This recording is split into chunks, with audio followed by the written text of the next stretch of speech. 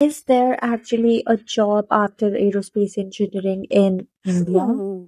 If you are an aerospace student or planning to become one, you have probably asked this question, maybe not to your parents, maybe not to your friends, but definitely to Google at 2 a.m. And I completely understand why, because I was in your shoes maybe a couple of years ago.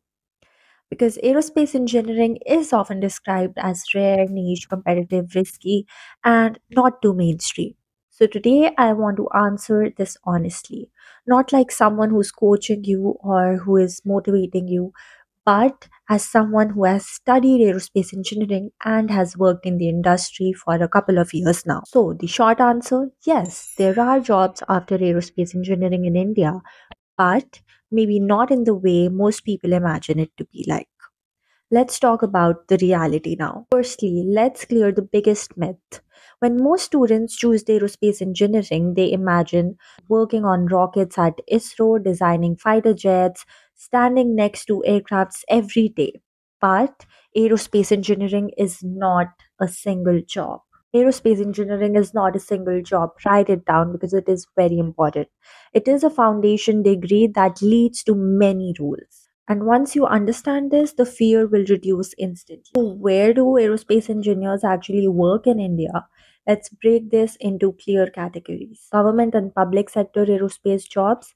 Yes, these jobs exist. Yes, they are prestigious and yes, they are limited. Some major organizations include ISRO, HAL, DRDO, NAL, and ADA. These roles often involve research, testing, designing, analysis, and certification.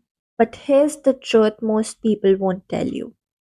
These jobs are highly competitive. Hiring is cyclical. Not everyone gets in immediately after graduation. That does not mean aerospace engineering has no future. It just means that you should not depend only on one door. Now let's talk about private aerospace and aviation companies in India. This is where a large number of aerospace engineers actually work, including people like me. Private companies work on aircraft structures, repairs, analysis and certification, manufacturing, MRO, which is maintenance, repair, and overhaul. Here, aerospace engineers work as structures engineers, stress analysts, design engineers, manufacturing engineers, certification engineers, and here's something important.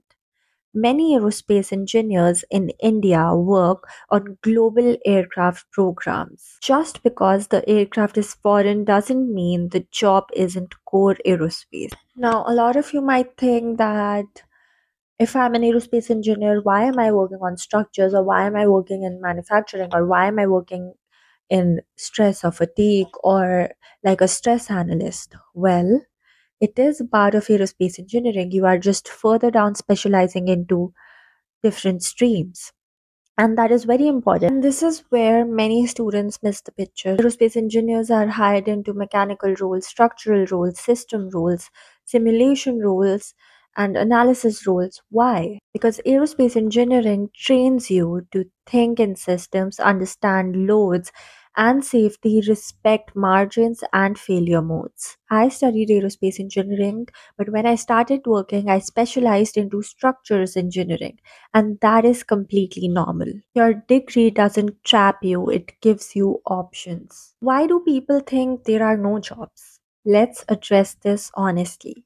People say there are no jobs because they expect only ISRO or DRDO, they expect campus placements into core aerospace. They don't count adjacent roles as aerospace jobs. But aerospace engineering is not mass recruitment. It is a precision field, and precision field rewards skill, patience, consistency, not shortcuts. Okay, now the most important thing what actually makes you employable as an aerospace engineer? This is the most important part. Jobs after aerospace engineering in India depend on your fundamentals, definitely your internships, your projects, your willingness to specialize. And the things that truly matter are strong basics in structures, aerodynamics, and systems, understanding how aircrafts are certified, ability to read drawings and reports, learning tools and standards. Your college alone is not enough, your degree alone is not enough, but your effort compounds beautifully in this field. Let's talk about my personal experience. Let me say this clearly. I studied aerospace engineering. I didn't magically walk into my role. I learned on the job, I specialized, I grew. And today I can confidently say aerospace engineering gave me a strong, meaningful career foundation. Was it easy? No. Was it worth it? Absolutely. I was recruited by Airbus right after my graduation, primarily because of my internship experience at DRDO and my skill set, which I possessed, and my, definitely my projects, which were pretty vast in terms of areas that it covered i did my projects on drones and different kind of structural analysis and also during my internship at DRDO, I worked on a very prestigious project. So, definitely, your internships and your projects are a big, big key player when it comes to your placements. Sum it all up is aerospace engineering worth it in India? Here is the honest answer yes, there are jobs after aerospace engineering in India but only if you choose the field consciously, you respect math and physics, you are open to specialization, you are patient with growth. Aerospace engineering is not for everyone, but for the right person, it is powerful.